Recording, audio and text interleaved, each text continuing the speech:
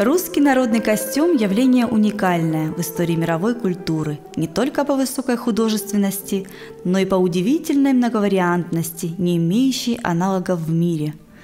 Формируясь на обширной территории на протяжении длительного времени и подвергаясь влиянию таких факторов, как географическая среда, соседство славянских и неславянских народов, социально-экономические условия, традиционная русская одежда утвердилась во множестве форм, сохраняя при этом некоторые общие черты. Бытование народного костюма определяла традиция, историческая преемственность, идейно-эстетических и художественных достижений предшествующих поколений. Хранителями древней традиции народного костюма у русских – как и у большинства других народов, были крестьяне. Они жили в гармоничной слитности с родной природой. Через нее постигали смысл красоты, добра, истины. Русская крестьянская одежда была защитой от зноя и холода, отличалась удобством, имела обереговое, защитное и престижное значение, выполняла важную ритуальную роль в обрядах и праздниках. В сегодняшней нашей встрече в рамках лаборатории «Традиционный народный костюм» речь пойдет о южно-русском сарафане. Его история бытования в южных регионах России, особенности покроя и разновидности. Как видоизменялся русский сарафан с историей России и каким он дошел до наших дней. Сарафан как вид одежды обязательно входил в состав южно-русского традиционного костюма – Вопрос о происхождении и распространении сарафана довольно сложен. В этнографической науке еще окончательно не решен.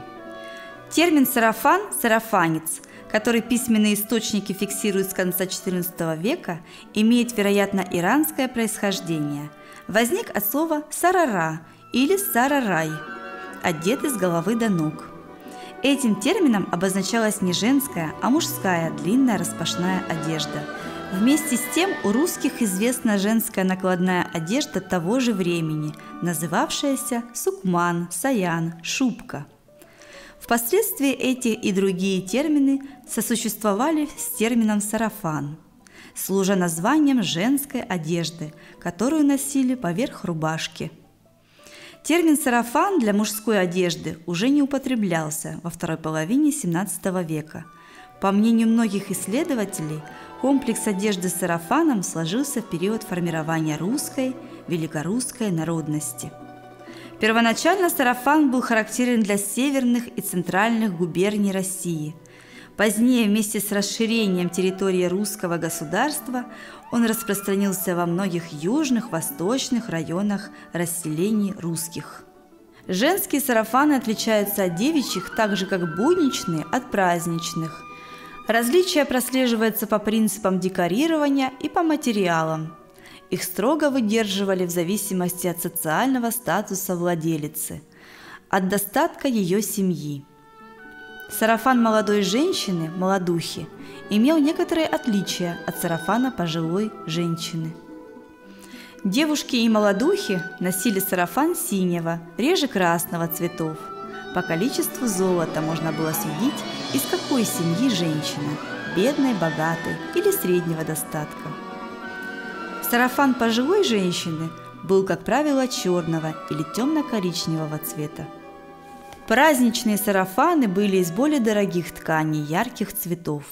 Их украшали по лямкам, верхнему пояску, по подолу, лентами, металлическим кружевом, бархатом, тесьмой и прочим. В южно-русской традиции встречаются четыре основных вида покроя сарафана. Первый – глухой косоклинный с проймами, называвшийся в некоторых губерниях шушуном или сукманом. Второй – косоклинный распашной или с зашитым швом спереди, с проймами или на лямках. Третий вид – прямой сарафан с лямками, известный как круглый или московский – постепенно заменивший косоклинный сарафан и паневу. Четвертый вид – прямой, отрезной, с лифом и лямками или вырезанными проймами. Для того, чтобы разобраться в многоликости южно-русского сарафана, рассмотрим типы и особенности каждого региона. В основе формирования сарафанных комплексов Белгородчины лежит косоклинный сарафан. Его шили преимущественно из шерстяной домашней выработки ткани – волосени, окрашенный в черный, иногда темно-синий и реже красный цвет. Перед сарафана состоял из двух прямых полотнищ, сшитых друг с другом. Сзади было одно прямое полотнище – Переднее и заднее полотнище соединялись при помощи клиньев и подклинков. На спине материал собирался в складку. В материалах этнографических экспедиций Курской области за 1961 год читаем – как девушки, так и женщины носили косоклинные сарафаны с узкими лямками. Шерстяные сарафаны из волосени. На спине сарафана делались складки – чтобы получились фалды, подол сарафана обычно туго связывали, смачивали и клали под гнет. Грудь сарафана украшалась аппликацией из парчи, лент, бархата, красного штофа, кумача. Край подола окантовывали плетеной шерстяной каймой красного цвета. В Борисовском и Грайворонском районах выявлены сарафаны в три зубца и штофовый. Сарафан в три зубца косоклинный, сравнительно узкий, спереди и сзади имел по одному прямому полотнищу. Лямки широкие, выкроены вместе с передним полотнищем.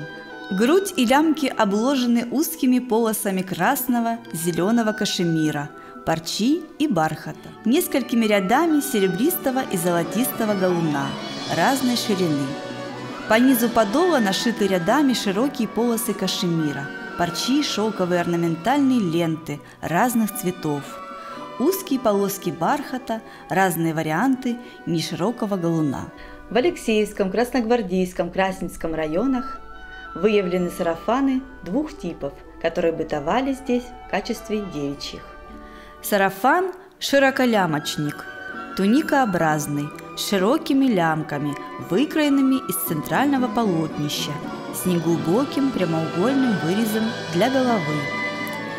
Боковые полотнища под мышками собраны в густые сборки, зафиксированы изнутри и снаружи нашивкой из ткани.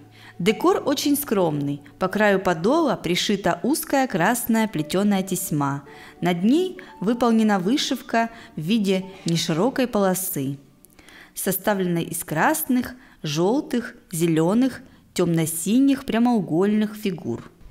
Еще один тип сарафана юга-черноземья сформировался в результате сложных этнических процессов. Так называемый прямой или круглый сарафан на лямках, сшит из нескольких прямых полотнищ фабричной ткани. Праздничный сарафан был из более дорогих тканей ярких цветов.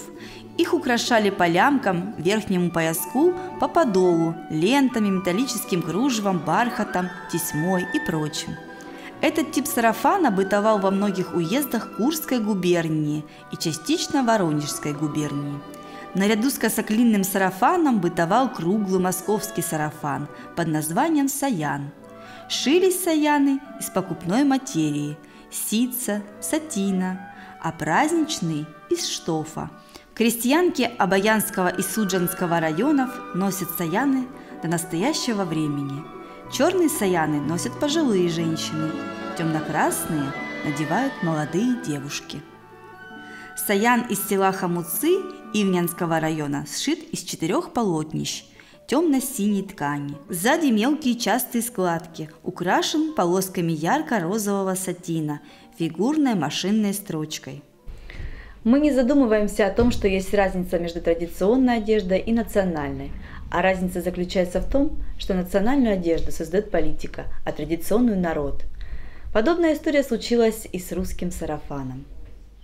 Исторически сложилось так, что при реформе Петра I вся русская традиционная одежда носилась только крестьянами. При дворе традиционная одежда не приветствовалась, так как модным и лучшим считалось все европейское. Долгое время длился запрет на русский традиционный костюм – в XIX веке при Екатерине II появляются попытки создания традиционной национальной одежды. Екатерина шила себе сарафаны, в которых ходила по дворцу, тем самым определялась мода для дворца и придворных. Русский сарафан носят во дворце, но в несколько другом виде.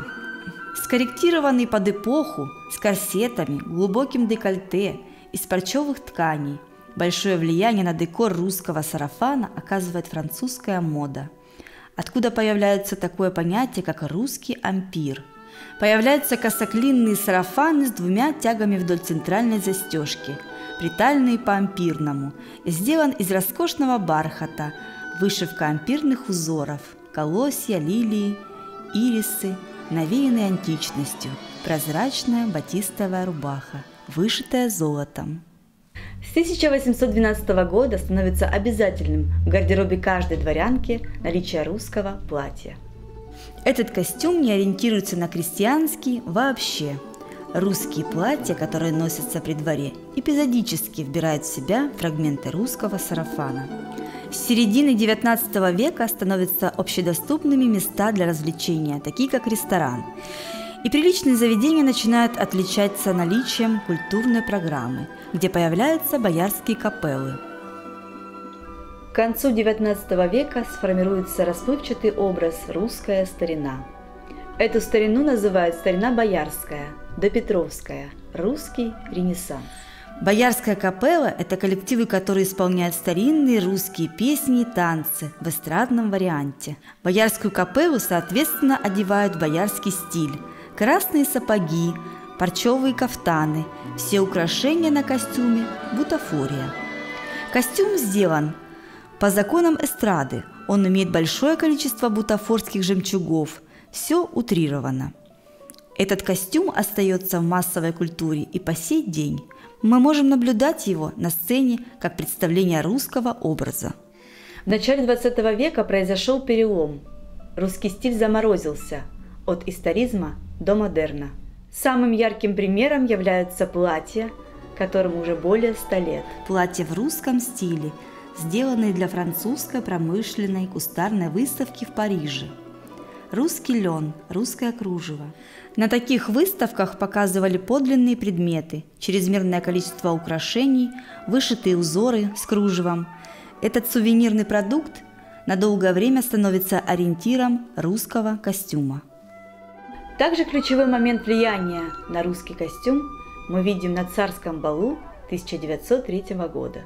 Карнавал ряжения знати, где шьют русский боярский костюм.